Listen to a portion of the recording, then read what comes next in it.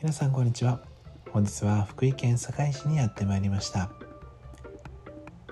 今日ご紹介するお店は130年の歴史のあるお店です。とっても楽しみですね。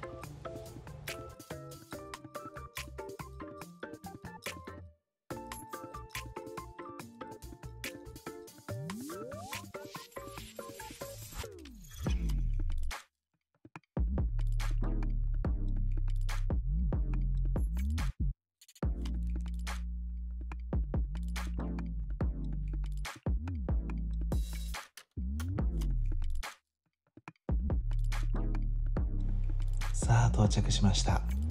本日は与平寿司ご紹介します。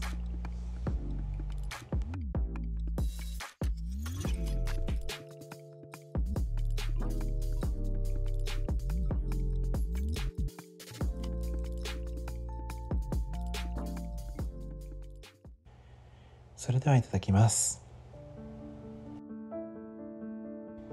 ブリメバルガサエビのお刺身。醤油はたまり醤油と白醤油のオリジナルブレンドで永平寺にもおろしているそうですよ。ガサエビ美味しい。日本酒は一本木をいただきました。こちらは脱皮した甘エビです。旨味がすごいですね。なめたガレイ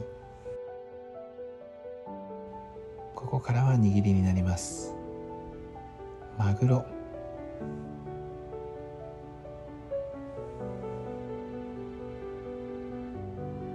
モンゴウイカ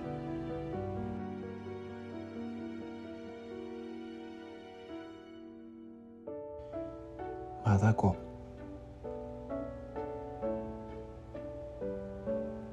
甘エビ。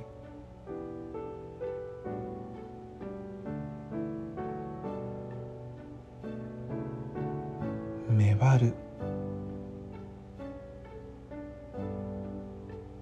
しめ鯖これはめちゃくちゃうまい。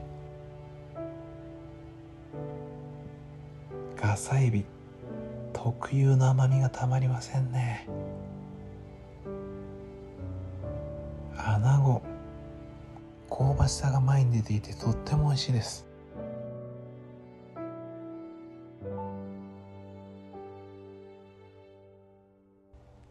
岩のりの吸い物。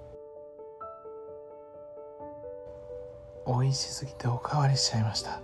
しめ鯖最高です。へしこの握り珍しいですね。いやーなんといいお店なんでしょうか。出会ってしまいましたねまた。絶対にまた伺います。